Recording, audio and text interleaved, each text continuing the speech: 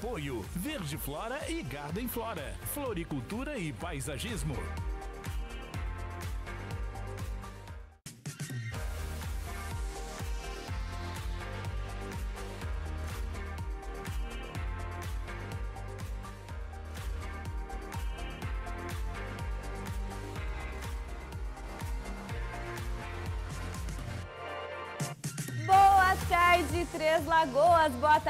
Amigo, minha amiga. Seja bem-vindo, seja bem-vinda. Tá começando mais um A Casa é Sua. Você aí do outro lado da telinha, tá em casa, tá no trabalho, onde é que você tá me acompanhando? É o meu convidado especial aqui em casa. Peço licença, porque eu tô chegando pela nossa TVC HD canal 13.1 e também pelas nossas páginas de Facebook JP News MS, Cultura e TVC. Eu tô chegando aí de onde você me acompanha. Tá vendo a gente de onde? De casa, do trabalho, do salão, do consultório médico? Interaja aqui comigo, manda recadinho aqui nos nossos comentários de nossas lives. Pega seu celular, já aproveita, curte, comenta, compartilha a nossa live, faz ela chegar para um montão de gente. E aliás, são nesses, eh, nessas duas páginas de Facebook que você fica muito bem informado ao longo de todo o dia com a nossa geração de conteúdo aqui da TVC e também do portal RCN67. Ó, oh, mas se não quiser falar com a gente pelo Facebook, pode falar pelo WhatsApp. Anota aí, 996697152. E no WhatsApp você manda áudio, você manda selfie, você manda vídeo. Se quiser, faz ligação para mim, pode ligar por vídeo chamada, vai ser um prazer falar com você, viu? Vou atender com o maior carinho. Hoje é dia 31 de março, demorou, mas acabou, que mês comprido. Hoje é dia da saúde e dia da nutrição. Eu quero aproveitar para mandar um beijo super especial para os nutricionistas, para as nutricionistas aqui de Três Lagoas, especial para as duas profissionais que me acompanham, a doutora Melissa Siqueto e a doutora Pamela Camargo. Ó, beijo para vocês duas, lindas. Bom, como é quinta-feira, é o dia do nosso quadro Explicando Direito. E hoje nós vamos falar sobre lei eleitoral. Pois é, semana passada nós falamos também de fake news e lei eleitoral. Hoje a gente fala de novo, mas é outro assunto. E também é dia do nosso quadro hashtag TBT com Mari Verdão. Vamos começar? Primeiro quadro do dia é Explicando Direito. Para quem não se lembra, fim de semana passado teve o festival Lollapalooza. E olha, rendeu, hein? Não foram somente excelentes shows, apresentações de cantores, bandas espetaculares. Não, tivemos ainda um show à parte, se é que assim podemos dizer. Deixa eu refrescar sua memória. Vários cantores aproveitaram para manifestar as suas opiniões políticas. Teve o famoso Fora Bolsonaro, teve apoio ao ex-presidente Lula. E o desfecho de tudo isso? Tribunal Superior Eleitoral atendeu ao pedido do PL, o partido do Bolsonaro, e proibiu aí a chamada propaganda eleitoral no Lollapalooza. Vamos entender essa história e o que a lei de fato diz com o advogado especialista em processo civil com atuação em direito penal, improbidade e eleitoral. Meu convidado do dia, Dr. Edmilson Romanini. Roda a vinheta. Explicando o direito. Bom, já estou aqui sentada ao lado do meu convidado do dia, doutor Edmilson. Seja bem-vindo à Casa Boa tarde, Sua. tarde. Muito obrigado pelo convite. É um prazer receber o senhor. E hoje, apesar de ser quinta-feira, já fazem aí quatro dias do domingo, mas ainda é o assunto da semana e eu não ia perder o calor do momento de trazer esse assunto aqui no programa, né? E como gerou o assunto? E como gerou o buchicho, né, doutor? Sim, bastante. Bastante, mas é aquela história, né? As pessoas vão para as redes sociais e nas redes sociais a gente é responsável pelo que fala e, por vezes, o dono da razão. A gente fala o que quer, conforme a gente quer, sem muitas vezes se dar o trabalho de dar uma checada, né? O que de fato diz a lei, como que funciona, é o meu pensamento, eu estou com a razão ou não? Para isso que existe o Explicando Direito. Então, vamos traduzir todo esse acontecimento, né, doutor? Bom, eu quero só contextualizar um pouco melhor, né? Porque vimos que alguns cantores, né? Principalmente aí, entre eles, né? O Pablo Vittar, Anitta, né? Durante as suas apresentações no Lollapalooza, eles fizeram aí essas manifestações pró e contra alguns políticos. Diante disso, doutor, vamos por partes, né? Vamos explicar separadamente. O fato do presidente Bolsonaro acionar o TSE, o Tribunal Superior Eleitoral, isso configura uma censura? Acaba coibindo a liberdade de expressão desses artistas? Tati, eu vou ter que voltar um pouquinho antes na sua pergunta. Pois não. É, como você mesmo disse, a ação foi a ação partiu por parte do PL, o Diretório Nacional do PL, que é o partido do presidente. Então, não necessariamente foi pelo presidente, mas sim pelo partido. É, nesse, nesse pedido, o, foi relatado de que realmente alguns artistas estavam fazendo essas manifestações, o que foi entendido pelo ministro do TSE como propaganda antecipada, inclusive propaganda antecipada negativa. É, e a partir daí, ele utilizou o raciocínio da lei, da lei, das eleições, que proíbe a propaganda antes da data de 16 de agosto do ano das eleições. Ah, é um pouco complicado a gente falar de censura, é sim possível pensar nesse sentido, tá? porque a proibição ela é sempre prévia. A gente não está não tá tratando de uma, uma reação à ação de alguém. Então, sim, a censura pode ser ventilada, pode, podemos pensar nesse sentido, porque houve uma proibição das manifestações. Uhum. É, mas aí o TSE acabou acatando o pedido do PL. Sim. Fundamentado em qual justificativa para isso? A da propaganda eleitoral Exatamente. antecipada? Na propaganda eleitoral antecipada. É, só que é importante trazer mais um ponto que veio depois, hum. aconteceu na segunda-feira. O PL desistiu da ação, o PL já desistiu da ação que foi acatado pelo TSE, pelo, pelo mesmo, ministro relator. Uh, e na decisão ele pontuou que ele havia entendido de que as manifestações políticas estavam partindo por parte do Lula Palusa e não por parte dos artistas. E nessa decisão ele até frisa que a liberdade de expressão dos artistas é garantida pela Constituição. Então houve esse, mais esse, esse viés, essa, essa nuance nesse esse caso. Esse desdobramento da Sim. história. Bom, doutor, o que diz a lei eleitoral de fato? A propaganda eleitoral, ela é alvo de várias, várias leis, várias normativas, especialmente uma resolução do TSE. Eu acho que o que cabe a gente debater aqui, porque ela é bem extensa, é que essa resolução, ela permite que todo cidadão, que todo eleitor se manifeste quanto às suas vontades políticas, o que acha certo, o que acha errado, tanto quanto ao político quanto ao partido. Isso observando necessariamente a liberdade de expressão do eleitor. Uhum. Mesma posição que o STF já tomou, inclusive num caso bem polêmico, que foi quando foi decidido a respeito da possibilidade ou não dos showmícios. Que muita gente ainda fala de showmício. Uhum. Nesse, nessa decisão, nessa ADI, foi decidido necessariamente isso, que todo cidadão, todo eleitor pode se manifestar quanto a um partido, quanto a um, um político, inclusive os artistas. E é bem ressalvado nesse acórdão isso, que os artistas podem se manifestar tanto anteriormente, quanto durante, quanto posteriormente o pleito.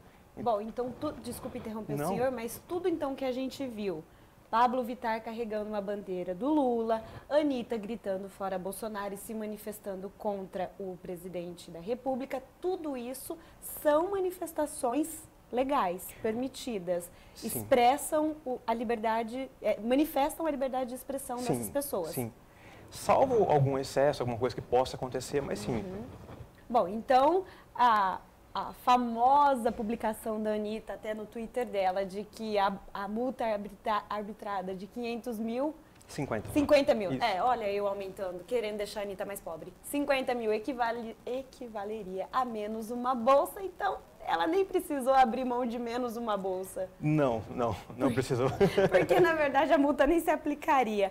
Bom, mas diante disso, doutor, quando eu vou para as minhas redes sociais, para o meu Facebook, para o meu Instagram, onde eu sou dona, por lá, eu posso me manifestar também? Eu posso falar de quem eu sou contra e de quem eu sou pró? Não só pode, como penso que deve, isso faz, isso faz parte da nossa democracia. É, a gente tem limite, sim, à liberdade de expressão. Só que no caso, a gente vai pensar num limite é, uma ofensa à honra, à dignidade do partido ou do político, ou mesmo a questão de fake news, uhum. que já foi tratada no programa passado. Uhum. Então, a fake news mesmo, ela é um limite à sua liberdade de expressão, assim como ofender a honra de um político, alguém nesse sentido. É claro que, tratando-se de uma pessoa pública, a gente tem uns limites um pouco diferentes. Uhum. Tanto é que, bem comum, Bolsonaro genocida, Lula É, ladrão e tudo mais, isso tudo está dentro dessa liberdade de expressão, dessa manifestação política do, do cidadão. Então eu tenho que me fundamentar nos meus argumentos fugindo dessas ofensas, né? Se eu Sim. sou contra Bolsonaro, não vou me apoiar no argumento Bolsonaro genocida. Eu deveria me fundamentar em outros fatos, em outros argumentos, porque isso eu posso ferir a honra do presidente. Tecnicamente sim, tá? Mas como eu disse, a pessoa pública tem uns limites maiores de, de vamos falar assim, da, do que seria uma ofensa ou não para uma pessoa pública. Uhum. Mas o ideal é que sim, que o debate seja sempre construtivo e fuja dessas essas ofensas. O senhor defende muito a expressão, né? manifestar a democracia, promover a, a democracia. Sim. O senhor acha que os eleitores, especialmente os mais jovens, os primeiros votantes, né? O senhor acredita que é um público aberto ao diálogo, aberto aos princípios da democracia? Eu penso que sim, que não ao mesmo tempo. é, é um pouco complexo que isso. há exceções. Não que há exceção, mas eu acho que de maneira geral, nossas informações estão muito viciadas. Cada vez mais a gente enxerga somente um viés. Uhum. Ah, tanto é que hoje a polarização, polarização é muito grande, direita ou esquerda, uhum. quando a gente deveria, na, na, verdade, deveria estar olhando sempre para os dois lados para tomar a melhor decisão. Uhum. Doutor, eu encerro com uma pergunta. Até que ponto a linha tênue da história é liberdade de expressão, estou me manifestando, até onde já configura uma propaganda eleitoral para aquele candidato? Eu penso que dois, duas razões, dois motivos são importantes aqui. É, primeiro, quem está falando, e segundo, se está havendo ou não pedido de voto expresso. Primeiro, quem está falando? Se vem, se parte de um cidadão, a gente parte do princípio de que é uma manifestação do cidadão, não é uma propaganda política. Só que mesmo o cidadão, ele não pode realizar um pedido expresso de voto. Então a gente tem que tomar cuidado com isso. Quando a gente pensa no político, é a mesma coisa. O político não pode pedir voto antes do dia 16 de agosto, mas ele tem que tomar um pouquinho de cuidado com o que fala para que não possa ser interpretado como um pedido de voto. Uhum. E a gente não poderia deixar de citar, a gente vem dessa onda, dessa geração dos influenciadores digitais. O que vai ficar um pouco difícil saber se quem está falando ali é a pessoa mero cidadão ou se no fim é uma pessoa com o objetivo de influenciar uma massa. Se eu não me engano, isso está sendo discutido para a realização de leis, para estabelecer leis nesse sentido, quanto à atuação do, influ do influenciador. Sim, nossa, muito pertinente, né, doutor? Sim, demais. Maravilha, muitíssimo obrigada. Eu que agradeço, Foi um prazer receber o senhor aqui, muito tranquilo, muito claro nas suas respostas. Muito muitíssimo obrigado. obrigada. Até uma próxima, hein, doutor? Eu espero, muito obrigado. Bom, vamos fazer uma pausa bem rapidinha. E na volta tem Maristela Verdão, porque hoje é dia de postar foto antiga, dia de hashtag TBT. Fica por aí.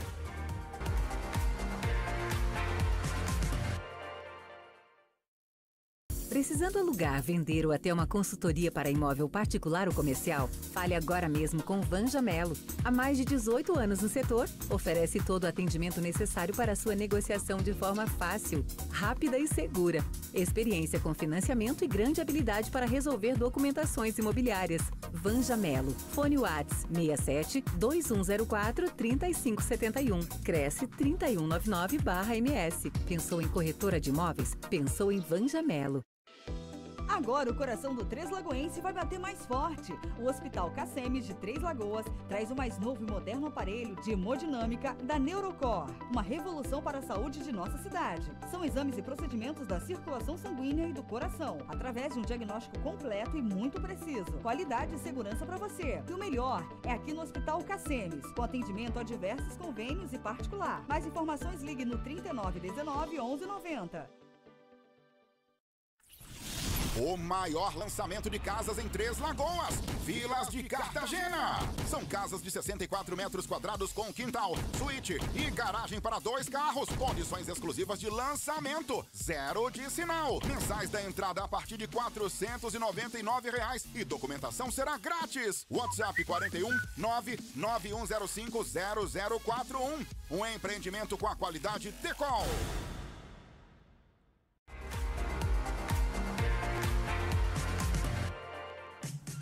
Estamos de volta com a Casa Sua desta quinta-feira, a famosa véspera de sexta.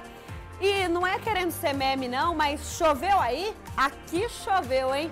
Inclusive, bem no horário de almoço, uma equipe aqui da TV saindo para almoçar, outra equipe chegando, teve gente que tomou uma chuvinha aí.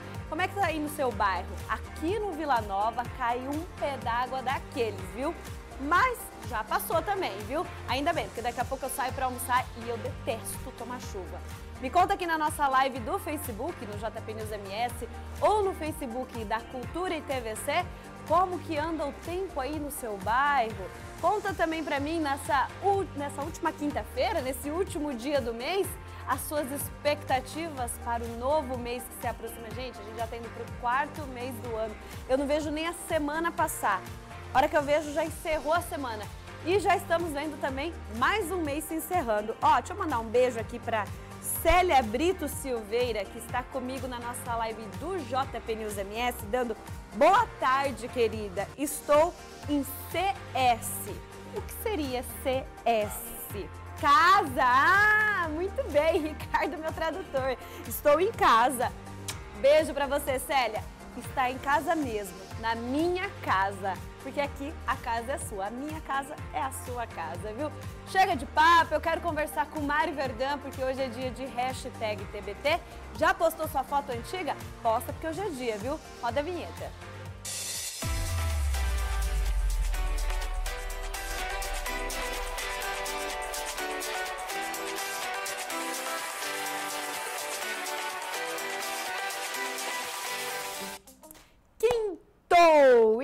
E quintou com tudo, último dia do mês. Que mês comprido, eu adoro o mês de março, mas esse, esse março foi misericórdia. Boa tarde, amiga Mari. Boa tarde, amiga Tati, boa tarde toda a nossa audiência. Sim, março é longo, né? Hoje já é 40 e 10 de março e não acabou. Meu Deus, ainda tem algumas horas pela frente, porque ainda é março. Ainda é março. Mas amanhã é 1 de abril. Pois é, E o que, que é 1 de abril? É dia da mentirinha! Eu não quero queimar a largada. Mas você, quando era criança, você brincava de dia da mentira? Com certeza. Você pregava a peça dos seus amigos, na escola, na irmão. mãe, no irmão, na mãe principalmente, né? O que, que você falava pra mãe? Mãe, a diretora tá te chamando na escola. o que você fez? O que você aprontou? Ai, amiga Mari, olha, eu vou confessar que eu sempre tive assim, uma certa aversão a mentiras. E eu não gostava muito de mentir.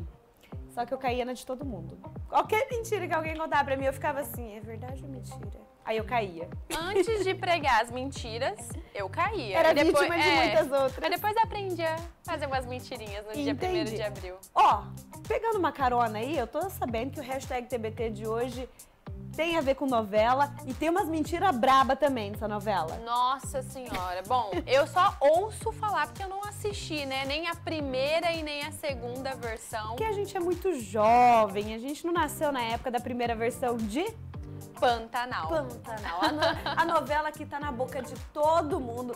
Meu pai assistiu a primeira versão. Ah, o meu também. Adorava. Aliás, meus pais. E agora a segunda versão, meu pai também não tá perdendo muitos episódios. Só que ele fica falando que não tem nada a ver, que tá que deixando, mudou muita coisa. Que tá deixando a desejar. Pois é. Tá muito Nutella. Tô ouvindo muito isso, amiga, muito. Não só da minha família, igual você falou do seu pai, o meu também, que por incrível, ele é muito, muito noveleiro. Sempre gostou de novelas. É, se tratando de ser uma novela é, um pouco mais antiga, né? Mesmo sendo gravada agora, ela já é a segunda edição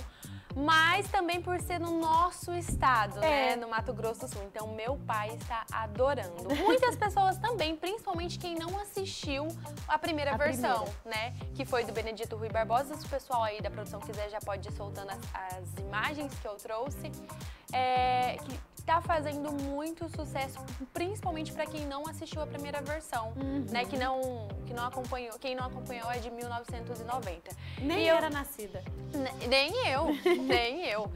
Trouxe aí então Cristiana Oliveira, que fez o papel da Juma em 1990. E agora, em 2022, quem faz a Juma é a Alanis, Alanis Gilling, que também tá maravilhosa. E se você olha, assim, as duas, dá até para lembrar né, amiga? Sim. O cabelão, né? Cabelo volumoso, Sim, comprido. a pose pele de- morena. Sim, a pose de, tipo, de- pessoas que são da- do mato, da fazenda mesmo, né? Então lembra bastante. Descalça, né? Bem do Descalça.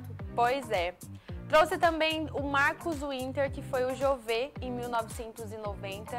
E agora em 2022 estamos com o Jesuíta Barbosa. Eu não sei se esses personagens já apareceram, porque eu confesso que no primeiro episódio, na segunda-feira, pela chamada ser tão emocionante, porque a chamada da novela foi muito boa, eu assisti o primeiro bloco do primeiro capítulo. Então eu não sei quem foram, é, quais foram os personagens, os atores que já apareceram aí. Ah, Ouvi- porque tem personagem novo nessa versão?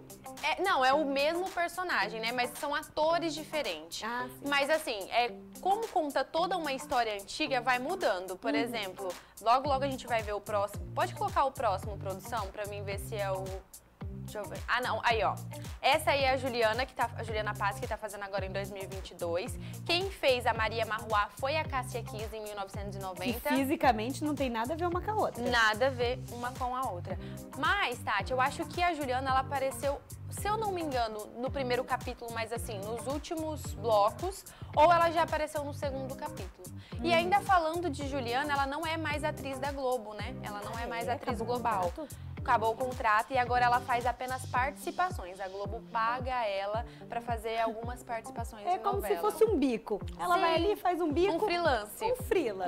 e ganha por demanda. Pois é. E aí, você tá vendo como que já deu uma mudada? Completamente. Esse daí que eu queria falar, ó. Esse Ah. daí é o Joventino. Em 1990 foi interpretado por Cláudio Marzo. Agora em 2022, nós temos já eu assisti no primeiro capítulo o Irandir Santos, né, que fez o Joventino jovem, mas já tá chegando aí o Osmar Prado que vai interpretar o Joventino mais velho. Ah, porque a novela ela é de duas fases. Sim, duas Entendi. fases. Olha, não conheço nada de Pantanal. Tudo Não que você tá me sei. contando é novidade. Não sei também, tô descobrindo aí, ouvindo as pessoas Junto que com a pauta. Assistindo e junto com a pauta também.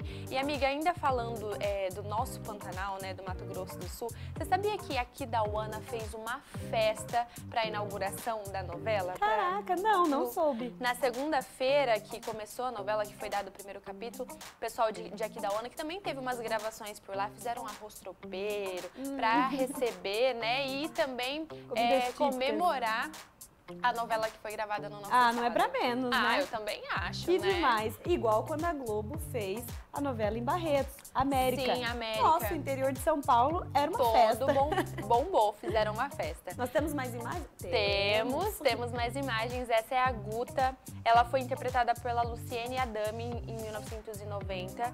E agora ela está com a Júlia da Lívia. Olha só, amiga, É, a Júlia. Tirando o cabelo, elas até que É, lembram. o formato do rosto parece, né? Sim. E a Júlia é nova aí na TV, né? A gente conhece, conhece o rostinho dela de algumas novelas, mas ouvi dizer que ela está interpretando muito bem. Promissora. Pois é. De próximo, nós temos mais uma. Ou Mais acabou? Ah, temos. Temos Sérgio, Sérgio Reis. Em 1990, ele fez Tibério. E agora, em 2022, Tibério é o Guito.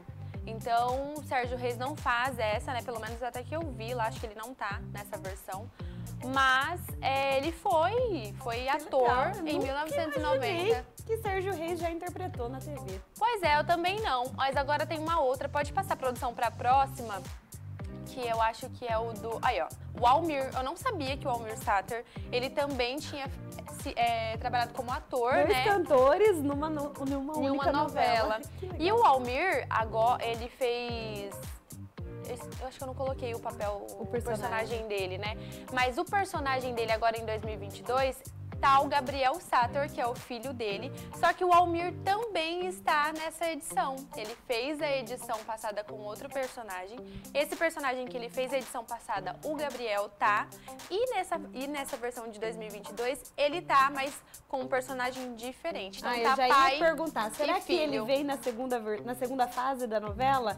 No Veio. mesmo personagem? Não, no mesmo Ah, não. é o outro. filho tá. Entendi. Mas é como se fosse o mesmo. Olha o filho. Totalmente É a igual. cópia. Pois é. É a cópia. Um pouquinho, um pouquinho mais de barba. Um pouquinho mais de barba. E o Almir, é, as gravações que tão- estão, feitas, estão sendo feitas no Pantanal é, nas fazendas do Almir. Quando foi gravado lá Pantanal em 1990, assim que acabou a novela, que a novela teve 216 capítulos. Caraca, um ano quase. Um ano, aham.